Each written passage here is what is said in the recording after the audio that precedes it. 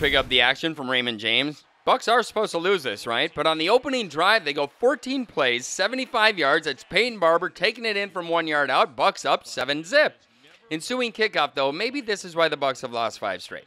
It's Alvin Kamara. You got my vote for Rookie of the Year. Look at this. Untouched takes it to the house.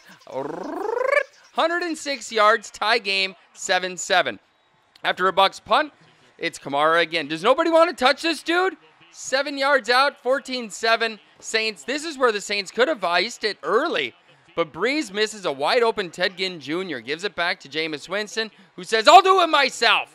Get in there. Stretch, he's in, but they miss the extra point. Before half, the Saints try a fake field goal, and Will Lutz gets killed. Stopped a yard shy of the first down. They give it back to Jameis Winston, who has all day to find the guy on the other team. Second pick of the day so far for Winston. Third quarter is so boring we skip it. Bucks down by four. They're punting. Tommy Lee Lewis on the return. No relation to Tommy Lee, drummer of the Motley Crue. But he's stripped and fumble, picked up and scored by Isaiah Johnson. Josh Robinson, former Viking. Obviously, that's a fumble. But check it out. The Saints come back and, and answer 13 plays, 92 yards. Brees is Zach Line, one yard out. And Saints actually have a chance to ice it here. Third and 10, and Brees gets sacked, so they have to punt the ball.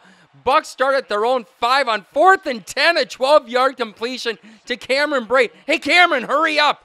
Two plays later, it's Winston. Look at this pass to Mike Evans. Wow. And two plays after that, Winston to Chris Godwin. 39 yards for the score. Are you kidding? Check out the Bucks sideline. And check out the perfect pass by Winston. Godwin, seven catches, 111 yards. His first touchdown of the season. Winston says, Thank you.